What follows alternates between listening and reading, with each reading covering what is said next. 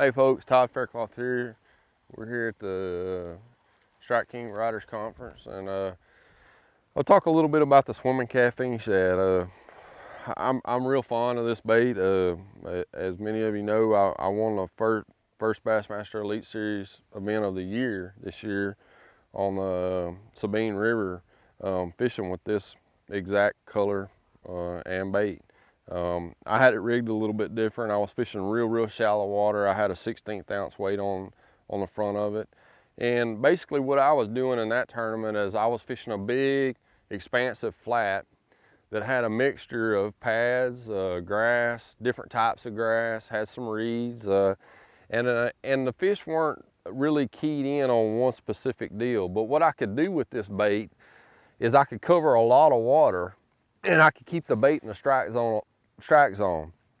And um, I was basically making long casts with it and I was just crawling the bait through uh, potential areas where I thought the fish might be. And, and sometimes they were random, but I tried to fish something different, you know, where it kind of pads met the grass line or reeds uh, met, the, met the pads or something. I was looking, trying to find something different. And uh, it's just a great, great bait.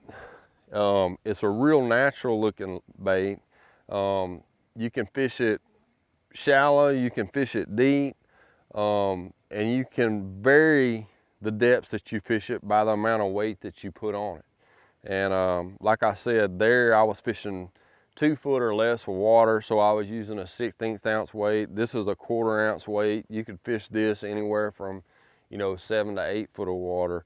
Um, this is the, the Pro Blue, um, and um, it, it's, it's real, real natural looking shad color in the water and is my personal favorite. But we've got a lot of different colors in it. And uh, um, next time you're out there and you're in a situation where, uh, you know, uh, maybe a spinner bait's not working or maybe a bladed bait's not working and um, you know there's fish present, this bait can, uh, can definitely add to your catch for the day. Give it a try.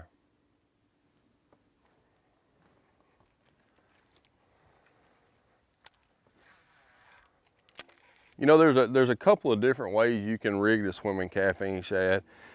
Whenever I'm fishing around, uh, you know, cover and uh, I'm throwing it in thick stuff, grass or around wood or, or what be, um, you know, I'll rig it Texas rig like this with the, the hook coming out of the back, you know, and, and uh, it's real, real weedless bait like this. If you're fishing, you know, flat points where there's not a whole lot of uh, cover and, uh, you know, cover sparse, you may want to go with a just a regular jig head. You know, they make a lot of swim bait heads now, and um, you can just rig it and bring the hook out the back of the boat, back of the bait where it's exposed. And uh,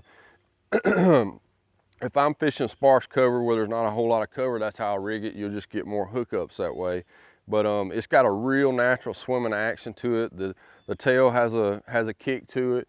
And the whole bait kind of wobbles as it's coming through the water. And um, just, just real natural appeal for the fish. And um, it's a bait that a lot of people won't throw in real thick cover. And, and that's kind of why I like it, is it just gives the fish a little bit different look. And uh, a lot of times that's what it takes. Got one, but not very big.